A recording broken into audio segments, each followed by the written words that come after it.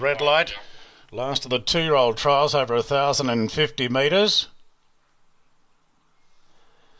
And they're off. And a jumping best was requited and not really being pushed on though, so time is precious. Rolls up on the outside and takes the lead away from Requited. Argenteus moves up on the outside, going to clear second. Requited back to third, continuing to lose ground. Getting up on the outside of it now is Aim.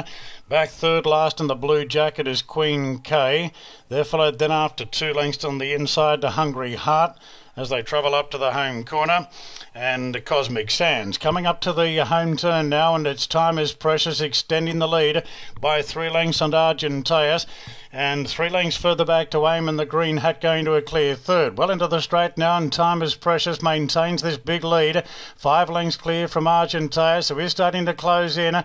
Coming with a good run now. Three further back to aim, pushed on, requited making hard work of it. Time is precious, being gobbled up now by Argenteus, and Aim's coming with a good run late, but Argenteus draws clear to win it, with Aim grabbing second. In front of Time is precious. Good gap back to Queen K.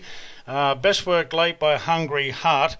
Further back to Requited, who gave away a lot of ground. And back last of all was Cosmic Sands.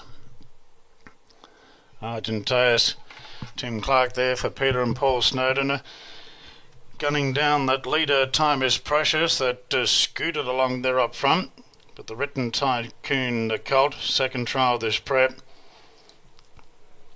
One trial back in November, and then the next uh, being